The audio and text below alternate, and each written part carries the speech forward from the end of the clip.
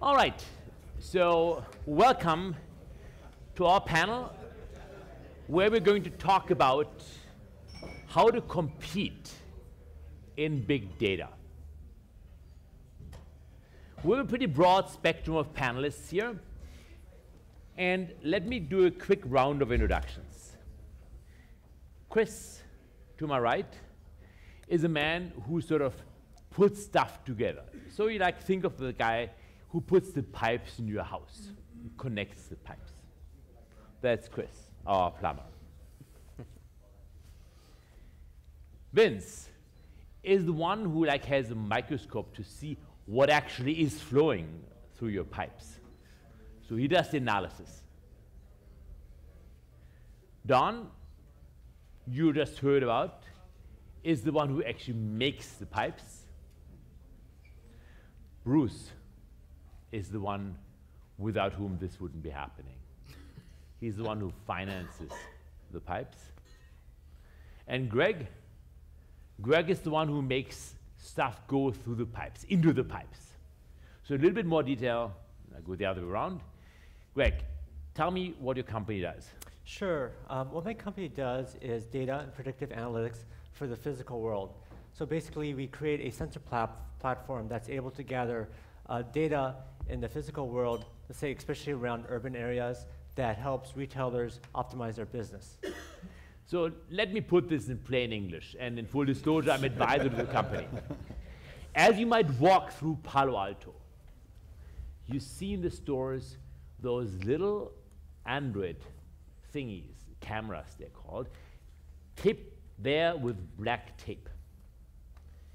Some wire going up there somewhere. And they're reporting to headquarters, to him, what they're seeing. Good face recognition. Every now and then a mobile might gets sniffed, a MAC address might get sniffed. So you, with the data he creates, you actually know that you went to that store, and so does the shop assistant.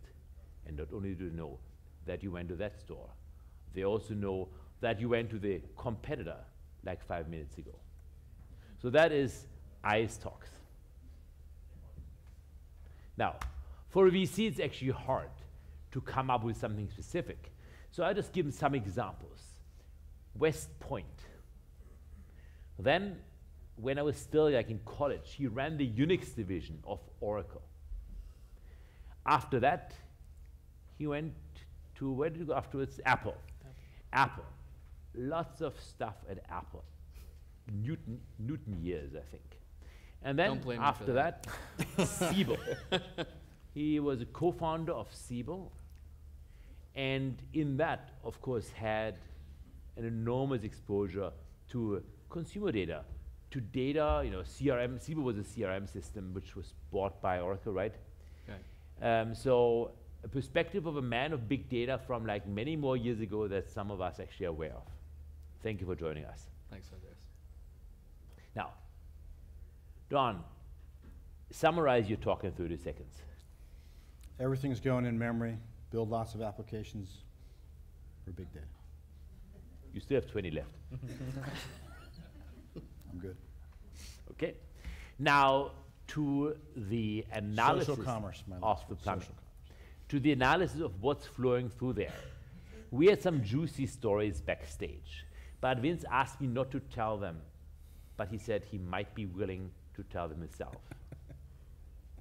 We do streaming big data analytics. We no, no, no, the juicy stories. We'll get to we, we do it for social media through uh, ListenLogic and we do it on all types of data. And what we want to look at is the intent to understand what you are telling the world through public pronouncements about who you are, what you intend to do, uh, how we can serve you better advertising or better customer service, or interact with you and thank you for saying something nice. Now, here's a question Do you think that what people say in their carefully curated image of themselves on Facebook, Twitter, you name it. And what they actually want has any resemblance? Absolutely. Absolutely. Because big data kind of takes care of that. First of all, with the volume that's flowing out of people, they are not monitoring everything they say. and we know by the type of things they were saying, and the amount of people who are saying similar type of things. So a lot of the bias that is in survey, it goes away when people forget that they're participating or forget that the whole world is listening what they're publishing. I don't know. I'm very very aware of the cost of interrupt and sharing something with the world. When I tweet, Yes, but you're not our customer or most people's customer, you know a little more about it. Most people are not as guarded, and most generations are very, very open. We see people talking about cancer and dying and family issues and their finances, and uh, people live a very public life nowadays. And then finally, we have Kris. And when we talked on the phone, and he started getting, you know, talking about volatility or what is it, virality or virality? What did you call it about big data? You called it virility. Virility, is that what it's called? So think of him as the instantiation of virility of big data. Is that what you want me to say, right? No, that's what you wanted to say. But yeah, So, first question What is big data? Because before we know what we are competing in, let's actually figure out what is big data.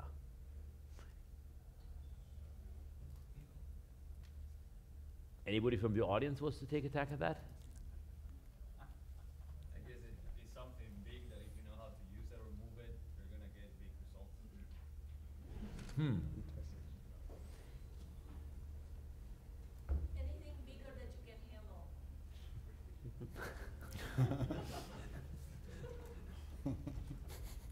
Some people. Remember when?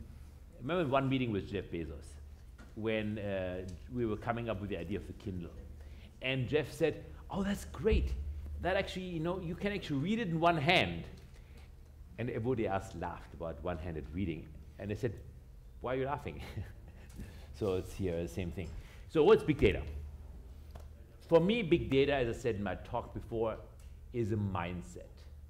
It is that you're not worrying about what you've got, but you assume that whatever you need is out there somewhere. And if it's not out there somewhere, at least you can get it. So that attitude that you are standing in the river where everything's flowing by, and rather than holding on to that one, you know, poor fish which you know you happen to catch at some stage called data set, you just wait for the fat one to come by. It's not about tool set, it's not about skill set, but for me, big data is a mindset. For me, big data is uh, noise.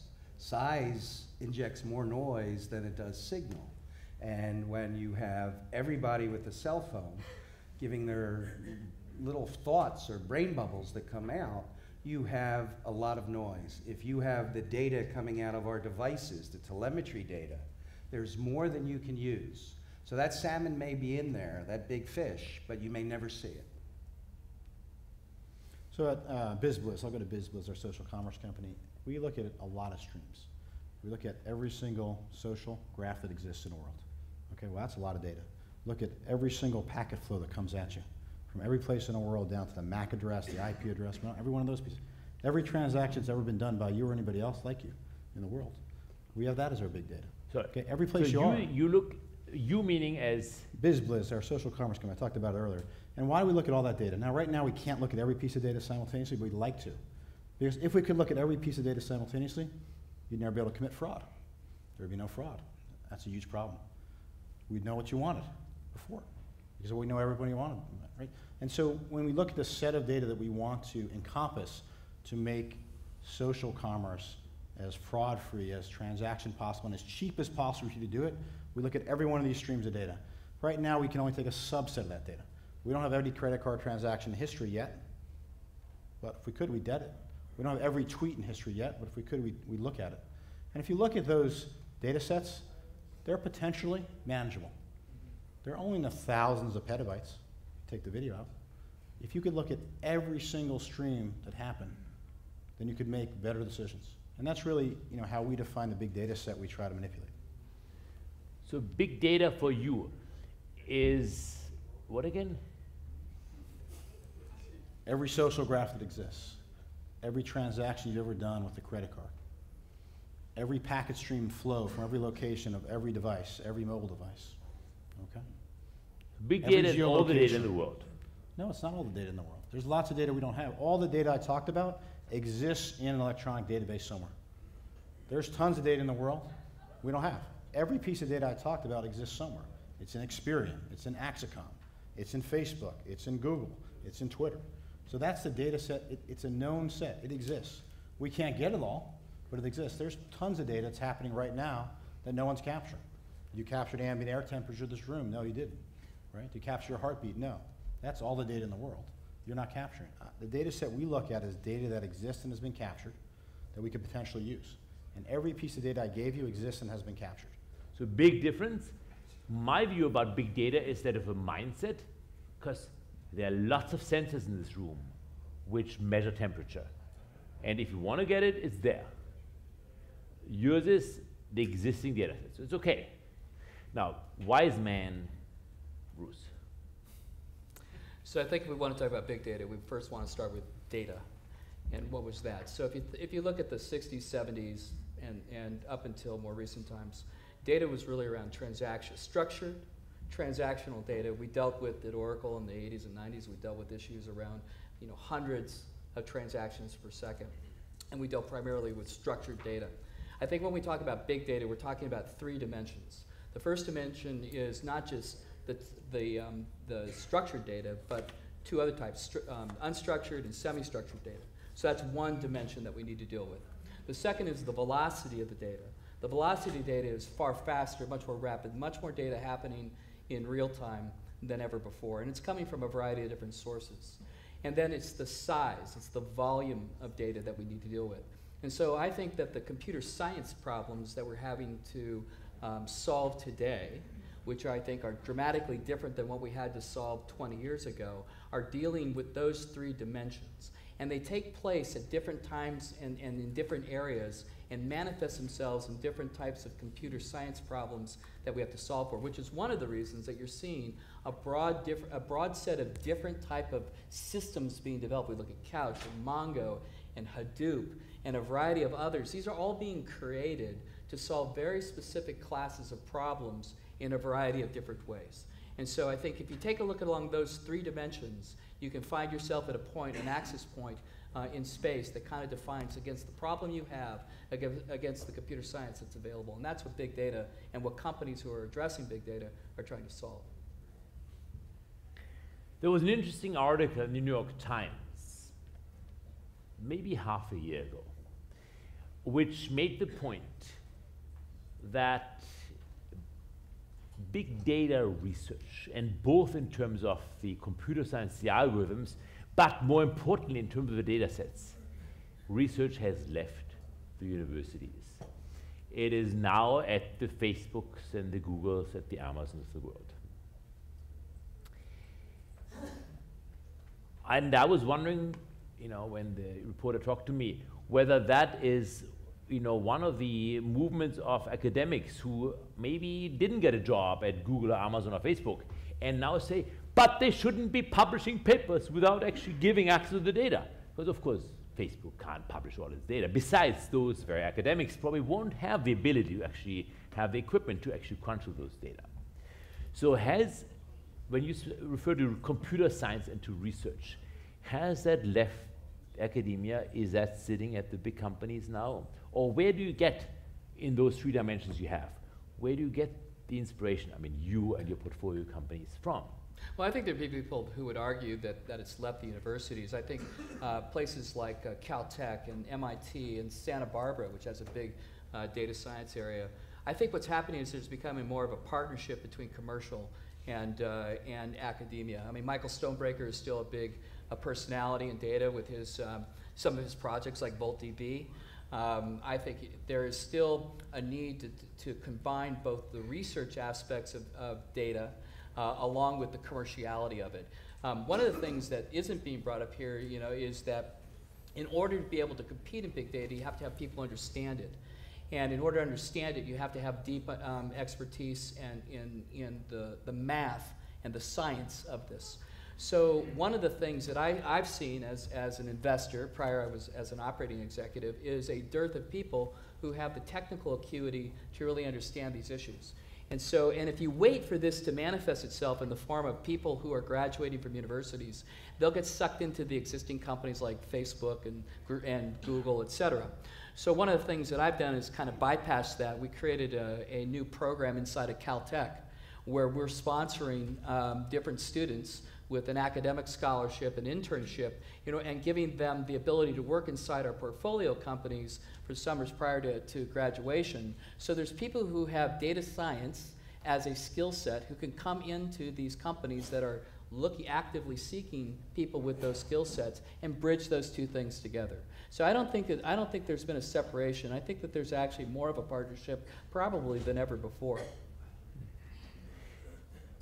What actually is a data scientist? Is a question often get asked. Any opinions here? You went to Caltech? Yeah, well, I, I, He went to Caltech actually before the web existed. Hard to believe, but um, I, I, I, I think about big data um, kind of similarly. I think th- th- there's a view of, of the way that Bruce described it. I think the other way of thinking about big data is gain the data. And, and these days, big data is really big because there's so many autonomous ways of getting this data from people sharing it to sensors in the environment. Um, but I think it's also the processing and cleaning of the data. And I think that's kind of where the data scientists really come in. So st- statistics have become really hot because there's so much data out there. And how do you really make sense of it? And I, I, I agree that with Bruce that um, the skill set of analyzing data is actually very tough because we, we also have our own challenges. But I, I think to me, one of the biggest part, and this is kind of like the, to me the third step of big data, is really generating actionable insights. And I, I think to really develop actionable insights, you have to understand the problem very well. So I think there's also, um, I- think that there's, I think the data science is hard, but I also think understanding the application is just as hard because I think Andreas talked about earlier this afternoon, understanding the problem very well is very important. Because if you don't understand the problem, then it's kind of like the Cheshire cat, like which way do you want to go? Anyway is good, if you, unless you know which way you want to go. Which reminds Good me of a story just for entertainment here. Albert Einstein, physicist, Princeton. He was taking the train, the train from Princeton, and the conductor came by. And you know how it is in America. Click, click, click, click, click, you know. And Albert looked in his pockets. Hair or ruffle. Didn't find the train conductor, don't worry about it. You know, don't worry about it. It's okay, Professor Einstein. At the end of the compartment, the conductor turns around and sees Albert under his desk, under his table, under his whatever it is in these trains, you know, coach, uh, you know, what do you call it, chair or whatever. Desperate looking, he said, Professor Einstein, don't worry, we know who you are. And he said, I know who I am, but I don't know where I'm going. so, where is data science going? Is that feedback loop tight? That feedback loop of looking at data, getting ideas, that feedback loop of education, that feedback loop of companies? So there's a number of areas that is interesting in data science. The data scientist is more interdisciplinary than ever before. You know, we often start with the answers, with the MBAs. What do we want to know of the data versus the pure math? And you bring in linguistics, and you have to understand how to deal with a lot of unstructured data and how you mash up data. It, the complexity grows, the answer is more difficult. There are also social angles to this um, in terms of what is the question. There, there are lots of uh, things that come out when you're actually looking at the data, buying patterns and, and a lot of other social behavioral things that that are probably not app- apparent to a scientist if he was to look at it just from that perspective. But a data scientist is probably expected to come up with uh, these type of uh, pictures of the data he's looking at. One of the companies, Founders Fund, Women LP, invested in is called Palantir. Palantir is basically a pretty good, I think, data analysis company. And the main thing about Palantir is that it just reduces the cycle time dramatically. It's just tools which allow people to form hypotheses, play with them, to try them out, to have a dialogue with the data, which in the olden days of somebody ships a data set to an, I think they were called analysts, right? They do the analysis and they, they'll get back to you. Just the big difference is that cycle time of analysis, that getting the questions, scientific, uh, you know, formulating hypotheses and then trying them out. So one thing when we prepared for this panel, even it doesn't seem like that we did, uh, there were three kinds of economics we want to discuss. There was the economics of sensing, the economics of communication, and the economics of data. So, what we meant by economics of sensing is that we can have people-centric data creation, like the mobile phones we carry, super rich sensors, for instance, for geolocation, or we could have place-centric data collection, like what Greg has. And I want to put the other two out and then leave it up to people to discuss which they want to discuss. We have the economics of communication, and if you think back, why do firms exist? People got Nobel Prizes for answering questions like this, or for maybe asking questions like this.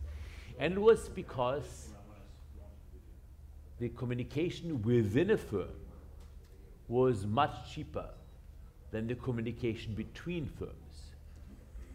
Well, that is totally gone. So many people actually, it's interesting how to see this paradigm shift in students.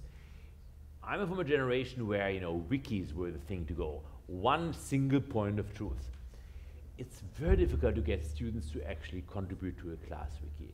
They are just much more, hey, we comment. It's the flow. Oh, let me LOL, OMG, and so on. Let me just comment on what other people. It's very difficult, very different at least, from what it was before. The com economics of communication has huge effects, I think, about the workplace, the workplace, the future of work. How will people work together? So that's the second point about big data. And the third one is the economics of data, namely the monetization. How do we make data about, how are we doing money actually, about my data, what does it mean to own data? So, economics is something which we're interested in. Who wants to take attack uh, economics of data? Wise man Bruce? The, the economics of data. I, th- I think that um, accessing data is relatively cheap. I mean, I think that we've got um, obviously all the, the social the social data that's being generated. Um, in fact, I, I, would say that access to, to data is probably the cheapest that it's ever been. I mean, we used to pay, um, we still pay companies like IRI and, and AC Nielsen and IMS or whatever a lot of money for data, but rapidly. Um, that is, there are companies that are searching for ways to go around those more traditional um, those more traditional models and try to find, as, as I think was suggested before, the, the signal out of the noise, out of a lot less expensive data. So the economics of data, I think, are going to come in the form of being able to apply machine learning and pattern matching to the data that, and being able to extract the signal from, from noise and being able to provide a much cleaner signal to companies to take action against. I'll give you a good example of this. Procter & Gamble.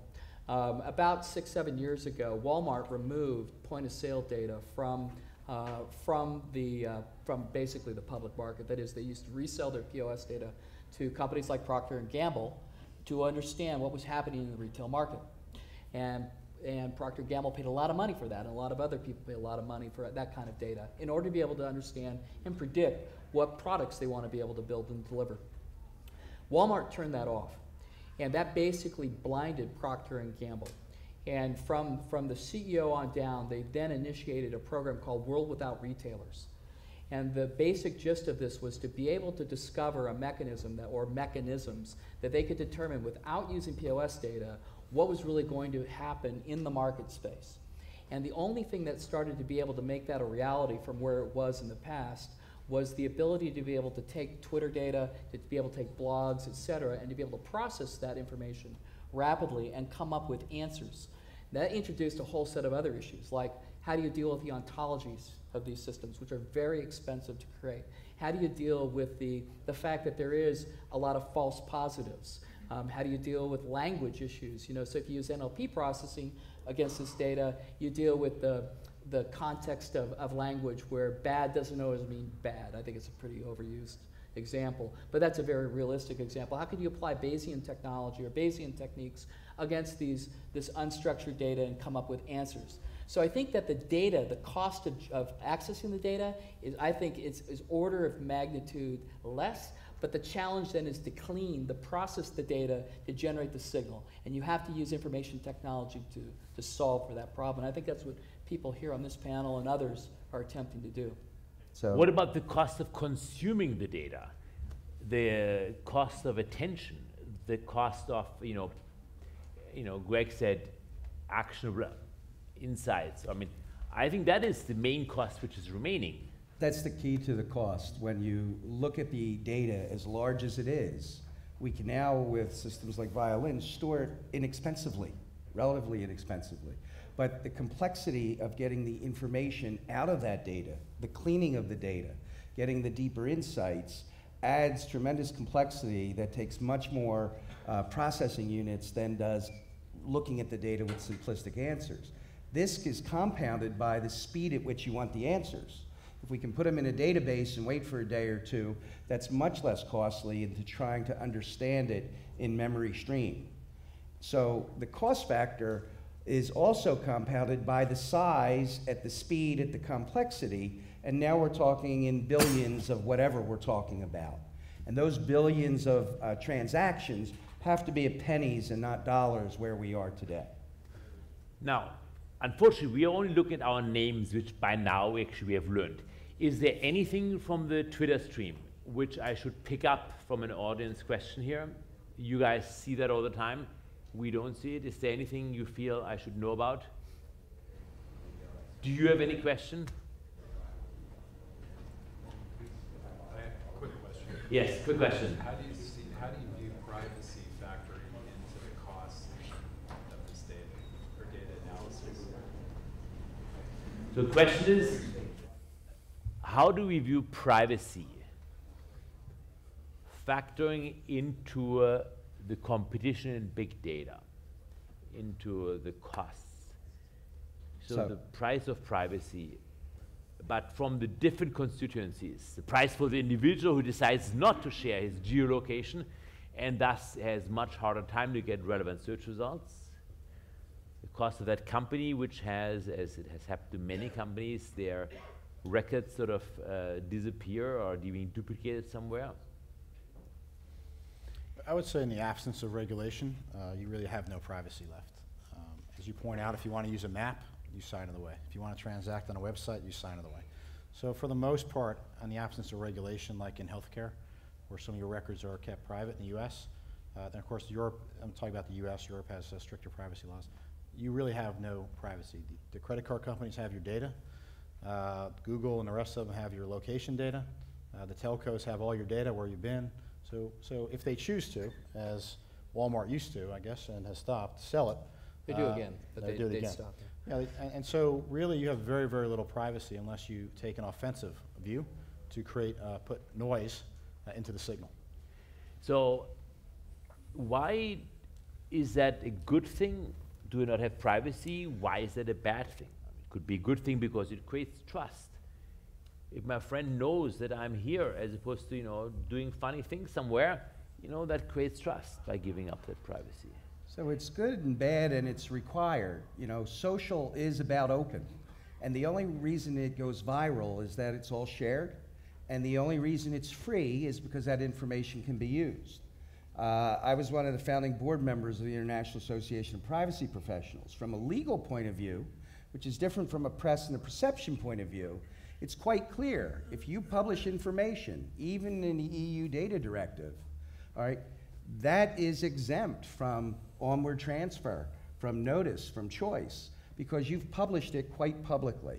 But perception is very different than that. We must remain sensitive to it and how it's perceived and how it's used. But mostly people understand that they are talking publicly. They forget from time to time, but they are posting pictures publicly to be shared. I think it's societal norms which are shifting. And the fact that if you're reposting my Craigslist ad, and then, you know, whose problem is that? And I think the norms are shifting that it might have been my problem about the juicy stuff I post on Craigslist. It is now his problem that he decides to publish this. At the uh, video interview, I just gave as an example a friend of mine who actually, when people hit him up on Grindr and he doesn't like it, he just takes a screenshot and puts it on his Facebook. That is an interesting ecosystem change. Or the former um, chief scientist of British Telecom, he open sourced all of his email within BT. And he said it had an amazing effect of people not bickering about each other anymore. In the remaining time, and I prompted all of you for that, the last question is make a prediction for 2020. Greg.